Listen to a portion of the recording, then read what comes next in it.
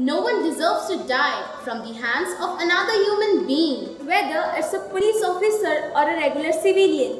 It makes me very afraid. I feel I'm constantly being judged. I feel unsafe, insecure. Every time you read the newspaper, you read about a bomb blast taking innocent lives. Everybody is different, but we all have the right to be treated equally. Hair, skin color, ethnicity, race and gender. Any of these do not matter. I believe everyone is equal and the difference within them should not be judged. There is no reason to treat anyone differently. We have the power to bring about a change. I have a voice and we can come together as one.